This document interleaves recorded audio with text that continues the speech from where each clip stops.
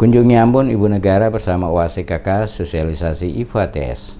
Dalam kunjungan selama dua hari di kota Ambon, Ibu Kota Provinsi Maluku, Ibu Negara Iriana Joko Widodo bersama anggota Organisasi Aksi Solidaritas Era Kabinet Kerja atau OACKK melakukan sosialisasi IFATES untuk deteksi dini kanker serviks. Ibu Negara Joko Widodo serta para istri menteri dalam Kabinet Kerja melakukan kunjungan kerja ke Ambon dengan agenda antara lain sosialisasi bahaya narkoba bersih lingkungan, sosialisasi program aksi pemeriksaan IFA dan kegiatan IFATES serta penanaman pohon. Ibu negara pun berharap agar warga kota Ambon tetap menjaga kesehatan dengan pola hidup sehat. Pada kesempatan tersebut, Ibu negara Iriana Joko Widodo juga berdialog dengan para penyapu jalan di kota Ambon. Ia merasa bangga karena masih ada orang-orang seperti para penyapu jalan yang mau mengabdi demi menjaga kota Ambon tetap bersih. Iriana Joko Widodo juga mengingatkan agar para penyapu jalan lebih memperhatikan kesehatan karena berurusan dengan sampah itu risiko terkena penyakit pasti akan sangat besar. Mulai dari penyakit kulit sampai sampai penyakit yang lainnya belum lagi dari hal lain yang ada di sekitar seperti asap kendaraan. Selain risiko terkena berbagai macam penyakit, risiko paling besar yang harus dihadapi oleh para pekerja penyapu jalan setiap harinya saat bekerja adalah kecelakaan yang bisa menimpa mereka di jalan raya. Acara sosialisasi Ifates dan dialog dengan para penyapu jalan diakhiri dengan penanaman pohon oleh Ibu Riana dan rombongan.